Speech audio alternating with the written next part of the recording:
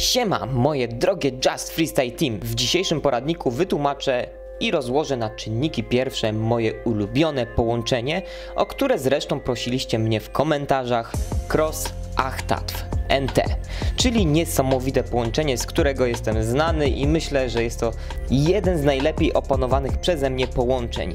No i bardzo często go używam.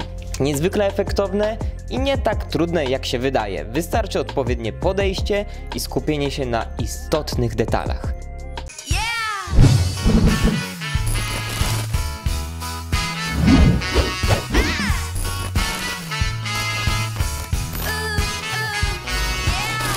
No dobrze, tak wygląda prawidłowo wykonany cross achtatw.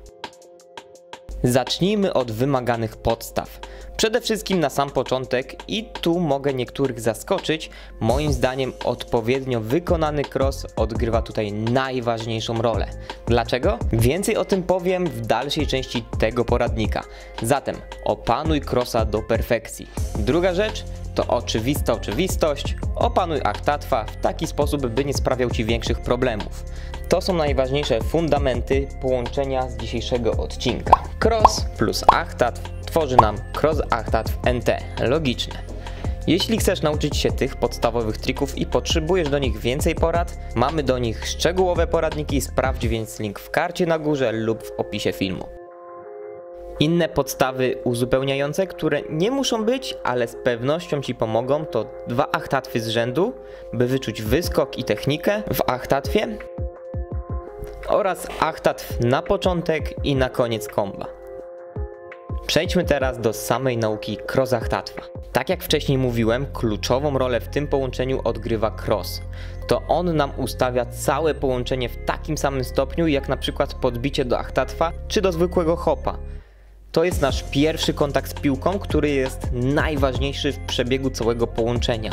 Jak zauważycie, w trikach erowych pierwszy kontakt z piłką jest tym najbardziej kluczowym. No i w naszym przypadku jest to cross. Sposób wykonania crossa przy crossachtatwie znacznie różni się przy zwykłym bez połączenia.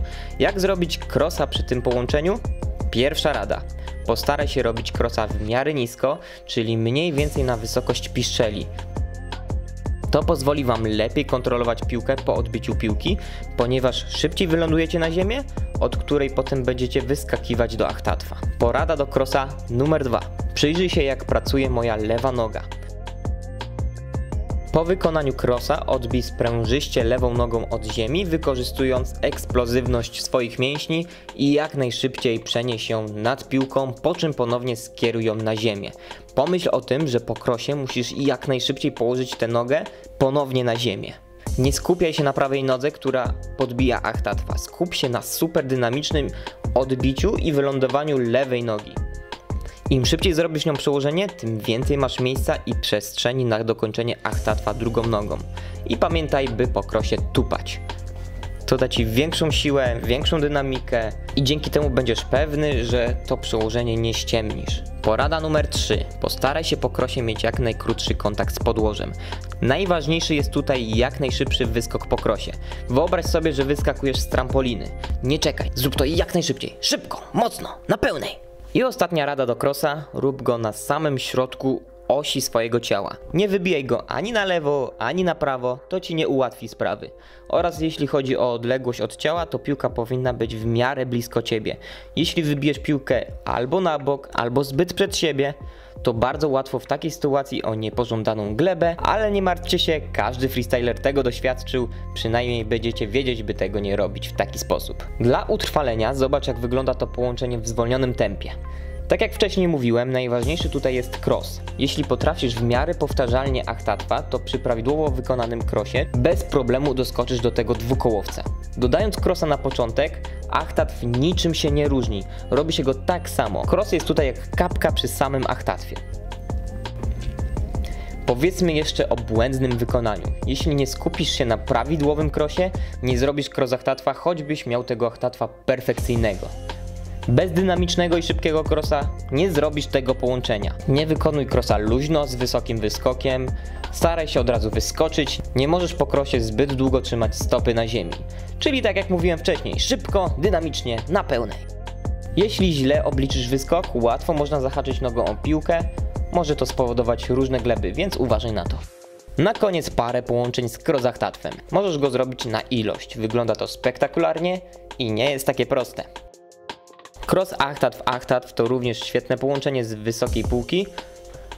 Cross achtatw jest znakomitym połączeniem na początek oraz na zakończenie komba. Ja osobiście lubię zakończyć serię crossów czy reverse crossów achtatwem wente i wygląda to tak. Jeśli krozachtatw nie jest Ci straszny, to kolejnym levelem będzie tatw achtatw. Wykonuje się to niemal tak samo, lecz oczywiście musisz bardzo szybko wyskoczyć po tatwie, co nie jest takie proste. Innym trudniejszym połączeniem jest reverse cross achtatw nt lub cross chtatw nt. Trudność polega na tym, że ze względu na kierunek ruchu po krosie lub r-krosie, achtatwa wykonujemy w przeciwnym ruchu. Zatem to nie jest takie łatwe i przyjemne przejście, jest o wiele mniej czasu na wykonanie achtatwa. No i to by było na tyle. Dajcie znać, czy poradnik był pomocny. Jeśli masz jakieś pytania lub chcesz pokazać, jak wykonujesz cross achtatwa, wpadnij na naszą grupę facebookową. Tam jest cała nasza ekipa i wychowankowie. Dzielimy się tam radami i wspieramy nawzajem podczas treningów freestyle football. No i poszerzamy nasze community freestyle'owe, więc wpadnij i zajrzyj. Jest tam naprawdę wielu świetnych grajków, z którymi możesz się zaprzyjaźnić. Sprawdź nasz sklepik internetowy z koszulkami. Jeśli chcesz dumnie reprezentować Just Freestyle, no to sprawdź co mamy do zaoferowania. No i pamiętajcie, po prostu trenujcie. Miłych treningów. Eldo.